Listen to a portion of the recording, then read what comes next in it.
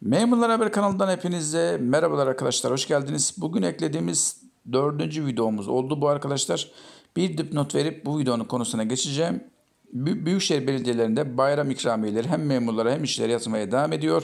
En son Ank- Ankara Büyükşehir Belediyesi'nin bayram ikramiyelerini sizlere sunmuştuk. Bu videonun sonunda ekleyeceğim. İzlemediyseniz izlemenizi öneriyorum. Gel gelin bu videonun konusuna arkadaşlar. İşten kendisi ayrılanlar kıdem tazminatı alabilir mi? 1475 sayılı kanuna madde eklenmişti arkadaşlar. Bunu sizlere sunacağız. Bu paylaşımı Emek Sağlık İş Sendikası kendi işçileri bilgilendirmek için yaptı. Emek Sağlık İş Sendikası yeni kurulan bir sendika arkadaşlar. Güzel paylaşımlar yapıyorlar. Biz de onları kaynak göstererek sizlere sunuyoruz arkadaşlar. Eylül 1999'dan sonra ilk kez işe girenler Eylül 2019 itibaren 7000 prim, gün prim gününü doldurmuşlarsa tazminatlı işten ayrılabilecek. Eylül 2024'ten itibaren ise 25 yıl sigorta ve 4500 günü dolduran herkes bu hakkı kullanabilecek.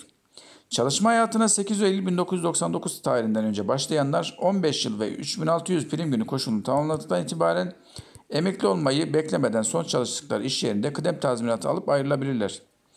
9 Eylül 1999 tarihinden sonra ilk defa sigortalı olarak çalışmaya başlayanlar da emekli olmadan kıdem tazminatı alabilirler. Ancak onların daha zor şartları yerine getirmeleri gerekiyor.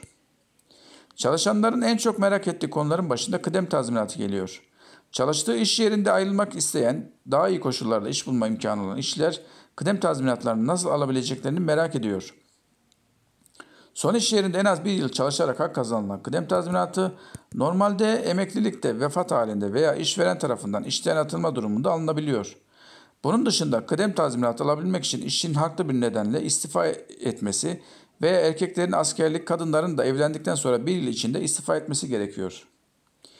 1999 yılında emeklilik yaşı kademeli olarak kadınlarda 58, erkeklerde 60'a yükseltilirken çalışanların kıdem tazminatı konusunda mağduriyet yaşamaması için bir düzenleme yapıldı.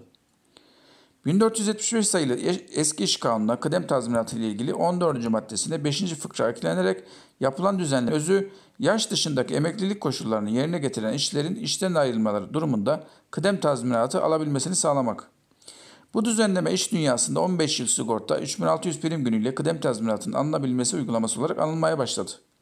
Yakın zamana kadar bu düzenleme sadece 8 Eylül 1999'dan önce işe girmiş olanları ilgilendiriyordu. Yasaya göre 9 Eylül 1999 tarihinden sonra işe girenler de yaş dışındaki emeklilik koşullarını yerine getirmeye başladıktan sonra kıdem tazminatlarını alabilecek. Dolayısıyla konu 4A işçi statüsünde çalışan herkesi ilgilendiriyor. Kıdem tazminatı son iş yerindeki için alınır. Kıdem tazminatı alabilmek için aynı işverene bağlı iş yerlerinde en az bir yıl çalışmak gerekiyor.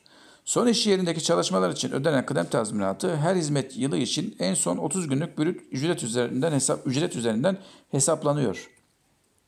Evet arkadaşlar bir bilgilendirme videosunda sonuna geldik.